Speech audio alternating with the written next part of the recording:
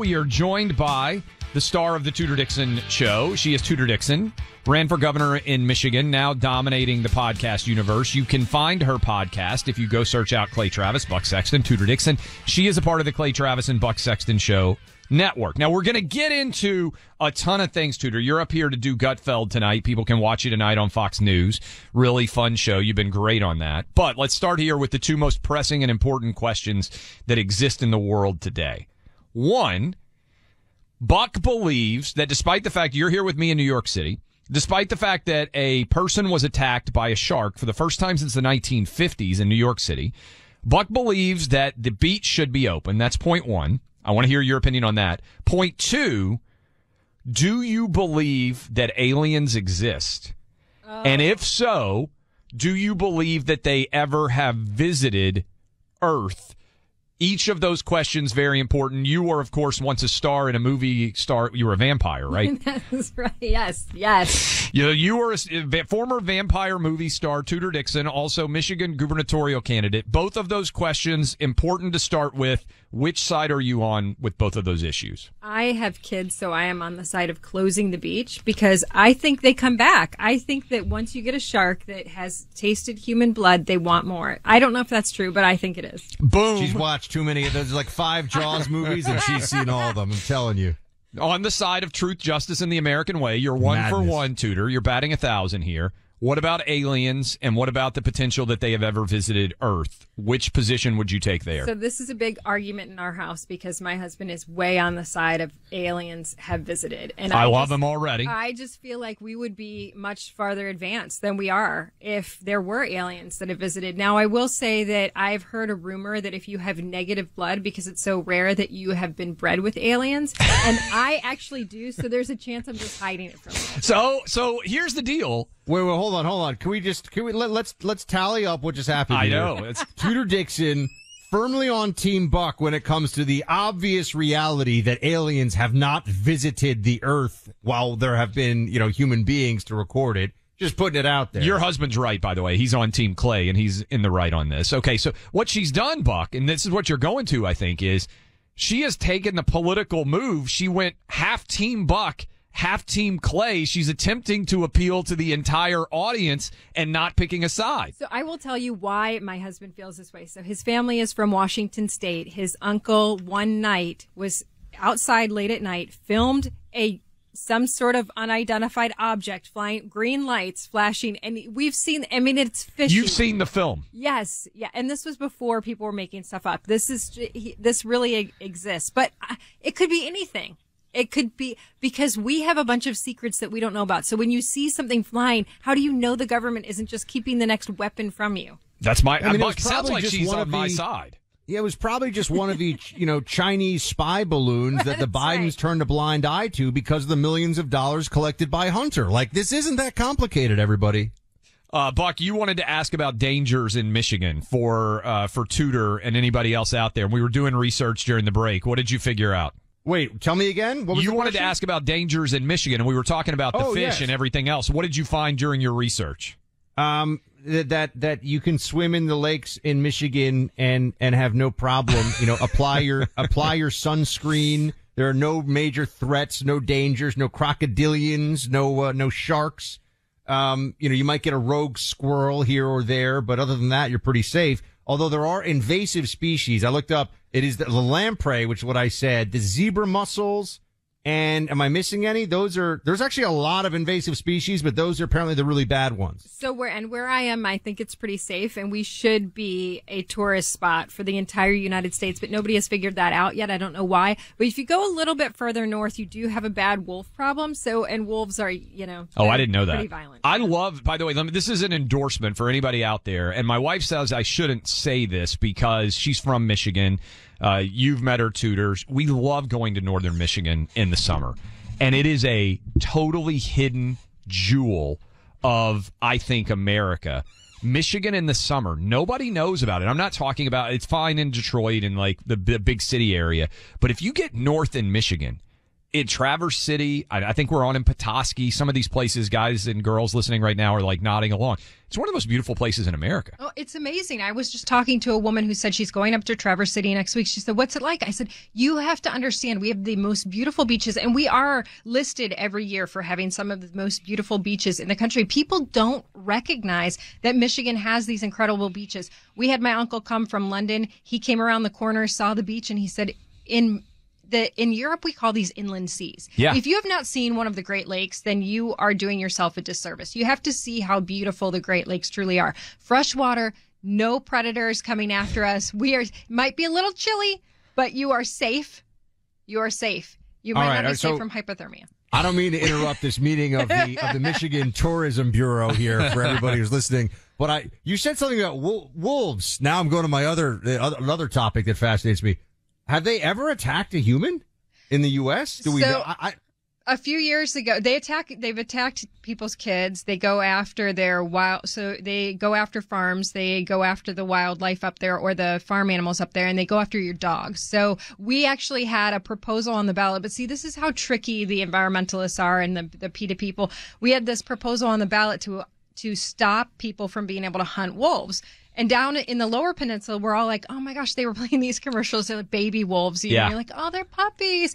And then the people in the upper peninsula come down and they're, what are you doing? We can't even let the kids play outside at dusk. Like they are a really serious problem. So yes, they are very serious. They are eating sheep. They're eating uh, farm animals. They're eating people's pets. It's pretty bad. Tudor, you're in Michigan. You're well plugged in. Let's go to the political realm now. What has to happen for the good guys to win in 2024 in Michigan just like happened in 2016 in your mind? What changed? What should the focus be? What do you think the Republican Party needs to do, regardless of who the candidate is at the top of the ticket? I think what changed is that the Democrats discovered digital advertising and they were able to get their message, only the message they want people to hear, specifically targeted to their phones, to their connected TVs, to their desktops, to their websites. They get their message directly to you. Republicans are still saying, come to a rally, come to a GOP meeting We are not in the digital advertising space and it is deadly. That has got to stop. We've got to get some of these folks that are the consultants saying go on cable, stop spending your money there, get your message directly to the people because they're not hearing the Republican message. They are being defined by the Democrats. The Democrats are using that digital media to go after the Republicans and define them before anybody knows who you are. Isn't it also a problem then, Tudor, that with one exception, the large, I know there's Truth and there's Rumble, but I mean the major global social media companies, except for Twitter, thanks to Elon, are still really islands of Democrat control. Of course, of course. But so you can actually be, we could have our candidates advertising on YouTube the way that they're advertising against us on YouTube. So you get to those spaces by buying that time. And it's actually less expensive buying that time than buying time on cable news where people aren't watching anyway. Those people are likely voting you have to get to the people that are not voting. They are winning so big with 18 to 29 year olds. It's because they're not hearing from us. And until we get to their phones, they won't hear from us. This is fascinating to me because you're a mom of four. You're a totally normal person, right? I mean, pretty much. Yeah. other than the fact that you think people with negative blood uh, are potentially aliens. Which, by the way, my mom texted me and said that she has negative blood. She's O negative. She could be an alien too. Uh, she wanted you to know.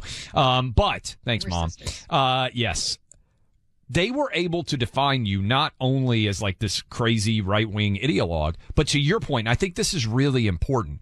They were able to find one particular issue that they thought a 22 year old cared about and send that targeted message directly digitally to the voter to say, oh, Tudor Dixon believes X, you're in favor of Y. They basically single issue targeted their voters. How much money was spent against you and how successful did you find that targeting campaign really was? Because everybody would have to fight it. So we, we were a six to one spent they were six to one spending against us. It was pretty crazy. We, they had so much money and the, the democrats in general brought about 100 million into the state and the republicans had just under 30 so republicans but the thing is that republicans were spending their money in ways that we should not be spending it wasn't money. even efficient the way you were guys were spending right exactly. Because i think that we're all we're behind across the board. Across the country we're behind on the digital ads. And so i've talked to people about this. Why do we have half and half? Why are we still at a 50% margin? It's because the Republican message actually makes sense financially. It makes sense for national security. It makes sense for trade. All of the issues that really impact your life every single day,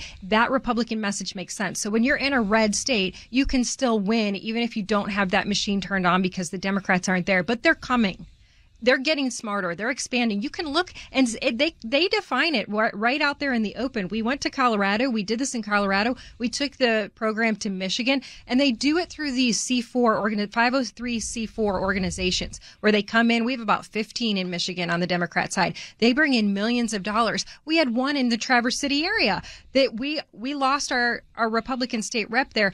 They brought in about 10 million dollars for two state house seats. 10 million dollars for two state house seats. And it was a, an organization called We the People run by illegal aliens completely, all from it, people that had come across the border. They wanted their driver's license. They told them, if you win this race, we will we will be able to get driver's license for illegal migrants. And so that's how they're doing it. They're bringing in these organ, they're very, very organized compared to the Republicans. The idea of a ballot chase, I always ask people, okay, so what are you talking about? Define to me what that means. Because first of all, the ballot chase, you're way into the process once you're getting to the ballot chase. So what are you doing ahead of time? Because I had ads running against me two weeks before the primary. The Democrats saw what was happening and they're like, we're going to define her. A ballot chase doesn't help you at that point. You've got to make sure that you have the weapons against them right away. And why aren't we trying to define them? Because we sure as heck have a lot of information on the things that they've done that have not helped the country and the things that they will do that won't help the country. So why aren't we out there defining them? The ballot chase is way down the line. If you have people telling you I'm working on a ballot chase, then find the people that are going to help beforehand because once we get to the ballot chase, we're too late. Tudor Dixon of the Tudor Dixon podcast, which is on the Clay and Buck Network. Clay, aren't you and Tudor doing a deep dive on some guy wrote a book about something? I have I have no idea. We're doing a show in a little bit uh, where I'm going to talk about this book uh, that I'm glad that you reminded me that producer Ali said I was supposed to mention.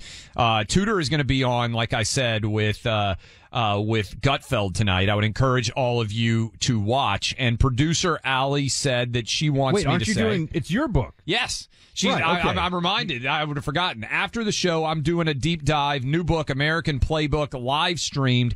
You can watch on my Twitter feed or claytravisbook.com. Right after we get off on the air, if people are like, hey, I want to be entertained longer, boom, you'll have me answering questions with uh, Outkick's own Katie McDuffie. You know her, Buck, because you introduced me to her, and that's now why she works at Outkick.